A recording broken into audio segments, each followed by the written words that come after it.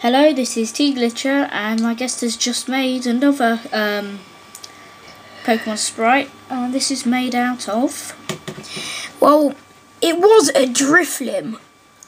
The body, as you can see, it's got still a bit of Driflim there.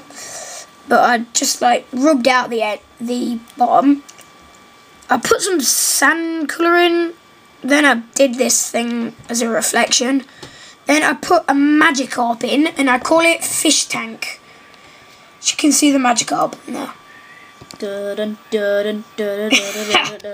It's a Magikarp in a in a Driflim. So it could still hurt someone. Thank you Shoot. for watching. Shoot out splash attacks, yeah. Thanks for watching.